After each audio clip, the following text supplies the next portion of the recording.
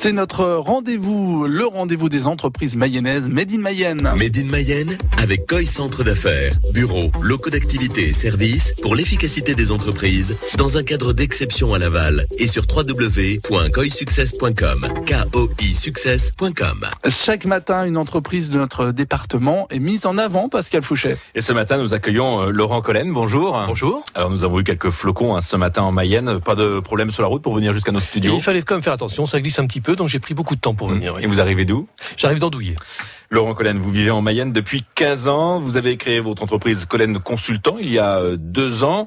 Euh, pourquoi d'ailleurs avoir euh, créé cette entreprise?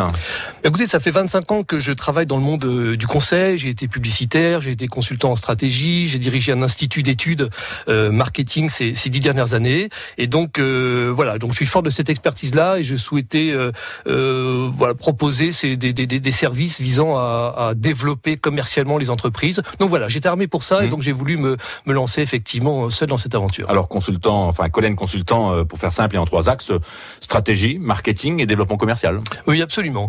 Le sujet, c'est c'est vraiment de se poser la question du, du développement commercial. L'exercice de la vente est quand même de plus en plus difficile aujourd'hui. Le contexte est, est, particulièrement euh, tendu et on se rend bien compte que le commercial seul, euh, aussi talentueux soit-il, ne peut pas réussir à, à atteindre des objectifs commerciaux ambitieux. Il faut absolument qu'il soit épaulé. Il peut pas rester seul. Il doit être épaulé par par, euh, par un positionnement clair de l'entreprise, quelque chose qui soit différenciant, qui soit mémorable.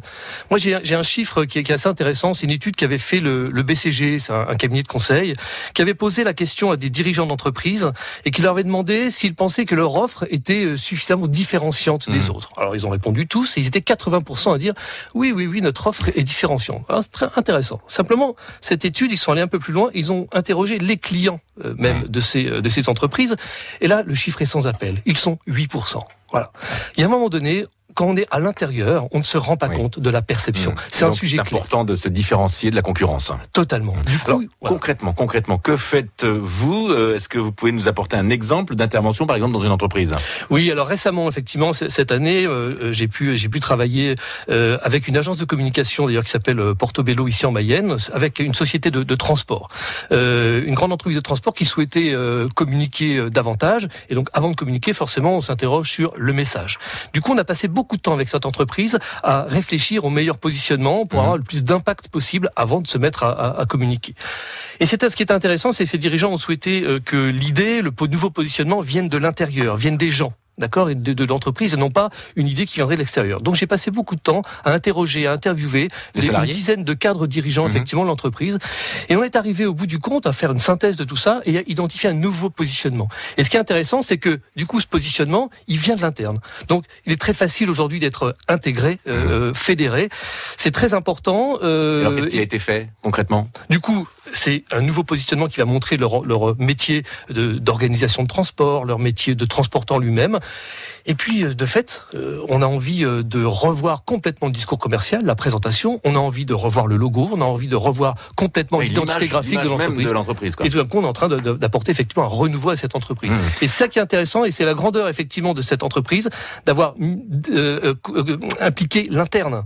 Et ça me fait penser à la phrase de d'Antoine de, de Saint-Exupéry qui dit euh, que la grandeur d'un métier, c'est d'unir les hommes. Bah voilà, c'est une belle expérience ici. Et c'est donc ce que vous faites dans les entreprises, si j'ai bien Exactement. compris. On va continuer bien sûr à en parler parce que on comprend bien que vous bousculez peut-être un petit peu les chefs d'entreprise de notre département. On en reparle dans une minute si vous le voulez bien. Ok. Dans la suite de Made in Mayenne, il est 9h moins le quart. Le top, le top France Bleu. Éric Bastien, Emmanuel Moire, Zao, Nolwenn Leroy. Cette semaine, tous nous parlent sur France Bleu de Daniel Balavoine, à qui il rend hommage dans un superbe album à découvrir à l'occasion des 30 ans de la disparition du chanteur. Le Top France Bleu de 19h30 à 21h sur France Bleu. France Bleu, Collen Consultant, c'est l'entreprise que nous découvrons ce matin avec vous, Pascal Fouché. Oui, avec donc euh, le chef de cette entreprise, euh, Laurent euh, Collen. Alors je le disais tout à l'heure, hein, stratégie, marketing et développement commercial, ce sont les trois axes sur lesquels vous travaillez. Euh, une, une, entreprise donc qui bouscule quand même les chefs d'entreprise, mais c'est vrai qu'en faisant appel à vos services, il faut s'attendre à des investissements, comme par exemple changer de logo. Oui, alors il faut s'attendre à des investissements, il faut surtout euh, s'attendre à dépenser de l'énergie, euh, de la sueur, parce qu'il faut euh, se challenger, réinventer des choses. Ça peut être des investissements importants, ça peut être des tout petits investissements, tout simplement. Un mmh. discours commercial, c'est mmh. simplement du, mmh. du, temps passé et de la sueur et du test sur le terrain.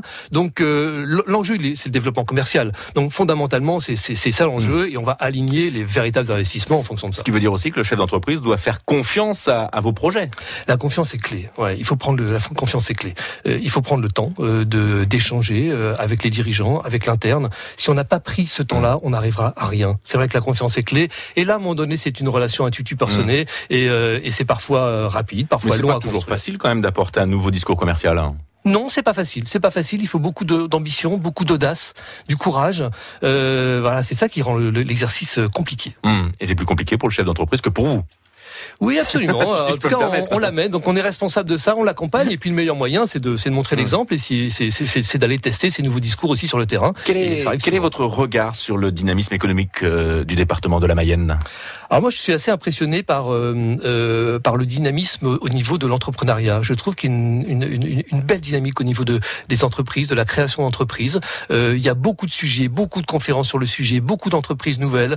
Euh, voilà, je fais, je vois aussi tout ce que fait le, le, le Technopole, par exemple, sur ces sujets. Je trouve ça plutôt très intéressant euh, et on, on, ne le voit pas forcément de loin, mais quand on est à l'intérieur, je trouve que cette cette dynamique est, est vraiment enrichissante. Alors c'est vrai que vous arrivez de la région parisienne, hein, ça fait 15 ans que vous vivez en Mayenne. Euh, il y a deux ans, vous avez créé votre entreprise, donc euh, à, 50 ans hein, à peu près. Est-ce que c'est euh, par le fait que vous trouviez qu'en Mayenne, il y avait peut-être un manque justement sur ce dynamisme commercial pour avoir créé votre entreprise?